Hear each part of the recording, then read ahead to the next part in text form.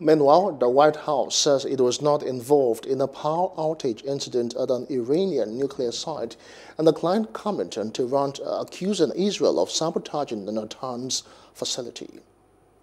Well, I, we of course have seen the reports of the incident uh, at the Natanz enrichment facility. The U.S. was not involved uh, in any manner. Uh, we have nothing to add on speculation about the causes uh, or the impacts. I will say on your first question, though, uh, we are focused on the discussions that we expect to proceed this Wednesday uh, in Vienna.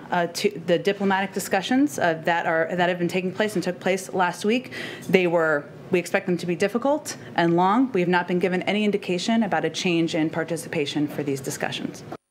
Uh, this morning, the White Hello, hope you enjoyed the news. Please do subscribe to our YouTube channel and don't forget to hit the notification button so you get notified about fresh news updates.